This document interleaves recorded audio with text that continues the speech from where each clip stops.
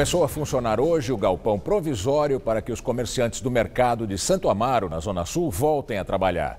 O mercado pegou fogo no fim do mês passado e deve ser reconstitu reconstituído por concessão. Para os permissionários, hoje foi dia de recomeçar.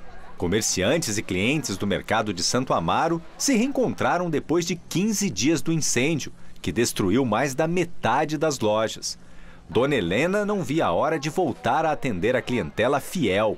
São 38 anos dedicados ao mercado. Estou muito feliz porque a gente vai começar, não igual, mas vai dar para a gente respirar. É todo mundo reunir forças. Eles sempre trabalharam, vão continuar trabalhando, vão se reerguer, mas que especialmente nesse momento de final de ano as outras pessoas também venham ser solidárias. Os 20 permissionários já estão trabalhando e aos poucos os clientes também voltam a fazer as compras. Neste primeiro momento, uma forma de ajudar quem perdeu tudo. E olha que é só o primeiro dia.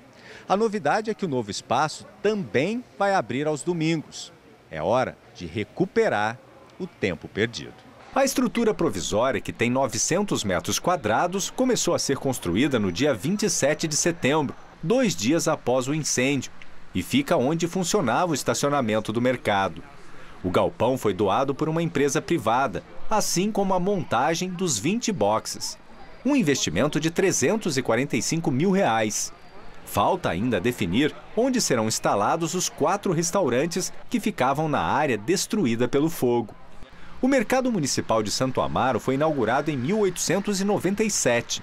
No dia 25 de setembro, teve mais da metade do espaço atingido por um incêndio. Testemunhas disseram ter ouvido uma explosão antes do fogo começar. Ninguém ficou ferido. O Corpo de Bombeiros levou duas horas para controlar as chamas e as causas ainda são investigadas.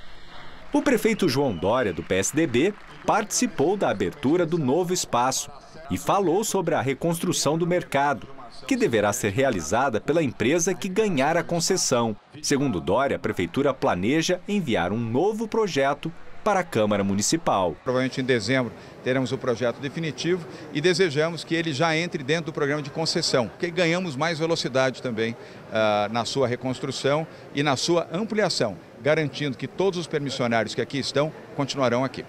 Cláudio é engenheiro agrônomo e vende produtos orgânicos.